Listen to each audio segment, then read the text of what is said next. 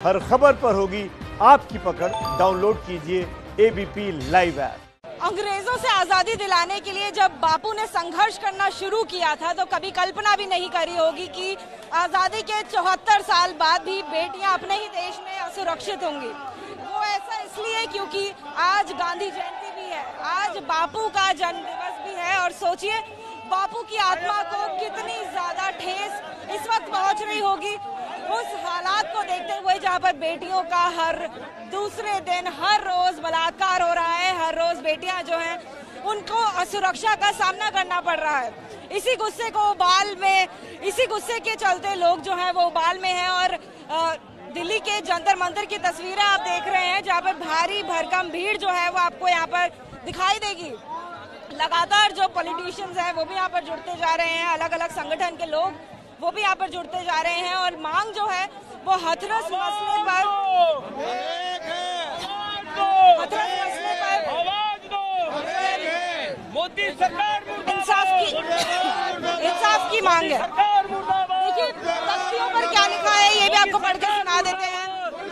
योगी सरकार का कुशासन खुले घूम रहे हैं दुशासन। दरिंदों ने किया होश में हो। मोदी सरकार मुर्दाबाद। देखिए दरिंदों ने किया शिकार, पुलिस ने लाश जलाई, निकम्मी आई, योगी सरकार। यहाँ पर लगी एक तख्ती कह रही है। दूसरी जो तख्ती है, आप देखिए, यहाँ पर लिखा हुआ है, बेटी बचाओ it was a warning को न्याय दो बेटी बचाओ, बेटी पढ़ाओ, जो नारा प्रसिद्ध हुआ था, उसमें बेटी बचाओ दरअसल एक वार्निंग थी, कहना है यहाँ पर एक तख्ती का।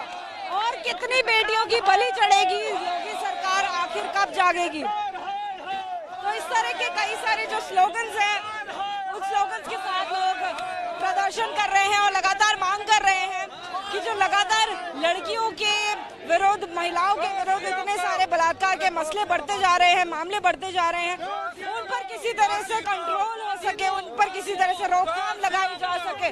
और जो गुस्सा है इस गुस्से ने कोरोना वायरस महामारी को भी ताक पर रख दिया है क्योंकि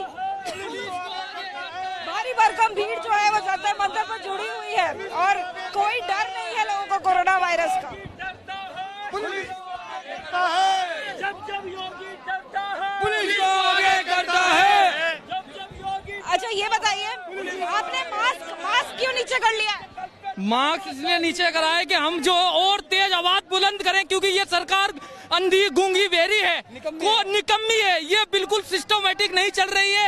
ये अत्याचार कर रही है। और ये हमारी दलित बहन के साथ जो अत्याचार हुआ है इसको कोई भी बर्दाश्त नहीं करेगा। आप आप लोग कहाँ से आए? हम हम सीमापुरी विधानसभा से आए। हम दिल्ली सीमापुरी विधानसभा से। जी हाँ। पार्टी से नहीं आए हम। हम पार्टी से नहीं आए हैं। सामाजिक सामाजिक जाने के लिए आए हैं यहाँ पर।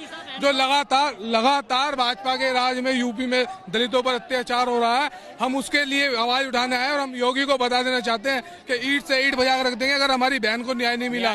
चारों को फांसी से कम और कोई सजा नहीं चाहिए हमें। चारों को फांसी चाहिए जल्दी से जल्दी फांसी जब तक फांसी नहीं मिलेगी देश की अभी एक बेटी को इंसाफ नहीं मिला है और उसके बाद भी योगी सरकार के अंदर ऐसे शर्मनाक हादसे बराबर होते जा रहे हैं। बलरामपुर में भी एक अभी कल तीस तारीख को घटना दोबारा हो गई है। तो हम चाहते हैं कि योगी सरकार इस्तीफा दे और ऐसे हमारी जो देश की बहन बेटियाँ हैं इनको इंसाफ मिले और ये जो बलात्कार के ऐसी शर्मनाक हरकतें हैं मैम आप मैम आप कहाँ से आई आपका नाम मेरा नाम सोनिया है मैं नंदनगरी से आई हूँ मैं दिल्ली से हूँ और मैं मनीषा की बहन हूँ। मैं उसका मैं उसके साथ जो गलत हुआ है मैं उसका मैं चाहती हूँ कि उसे इंसाफ मिले उसका दोषियों को फांसी मिले।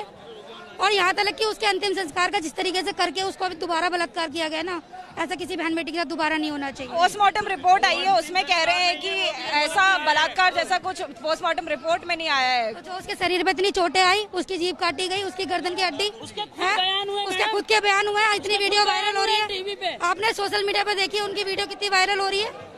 आप देखिए क्या वो बलात्कार नहीं है? ये योगी सरकार है। ये तानाशाही और हिटलर शाही। खतरे में पूरा परिवार खतरे में ये हिटलर शाही।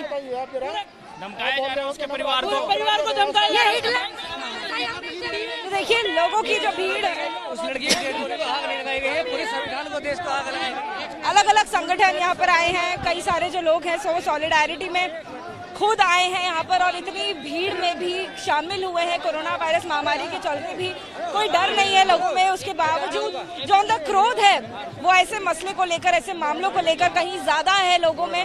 और लगातार जो मांग है, वो इंसाफ की हो रही है और लगातार जो आवाज़ है वो आवाज़ उठाई जा रही है कि इंसाफ जल्द से जल्द इस मामले में मिले। और जैसी भीड़ है हम आपको लगातार तस्वीरें दिखा रहे हैं कि कहीं पर भी पाँव रखने की कहीं पर भी पाँव रखने की जगह नहीं है। और एबीपी न्यूज़ के एंकर के साथ भी जो कुछ हुआ वो भी लोगों ने देखा है। एंकर वहाँ बैठी हुई है गाँव में घुसने नहीं दिया। पुलिस ज़बरदस्ती उनको वो कर रही है धक्का दे दे के बाहर निकाल रही है। घुसने नहीं दे रही। ये इन्होंने जो एबीपी न्यूज़ की जो एंकर थी उन्होंने बहुत हिम्मत के साथ काम लिया उनको भी रोका गया और उनके साथ भी बदसलूकी की गई। और ये बहुत देश के लिए बहुत बुरी बात है। और हम जानते हैं कि बहन बेटी की इज़्ज़त अब लगातार मीडिया को जिस तरह से रोका जा रहा है उसको लेकर भी लोगों में बेहद गुस्सा है। जिस तरह से जो एंकर प्रतिभा मिश्रा है उनको हथरस में अंदर में घुसने नहीं दिया जा रहा था, जो उन्होंने हिम्मत दिखाई, उसको लेकर भी लोग जो है वो यहाँ पर बेहद गुस्साए हुए हैं और एबीपी न्यूज़ का इस वक्त समर्थन कर रहे हैं। कैमरा पर्सन प्रवीण दीक्षित के साथ Ajatika Singh ABP news Delhi. ABP news आपको रखे आगे।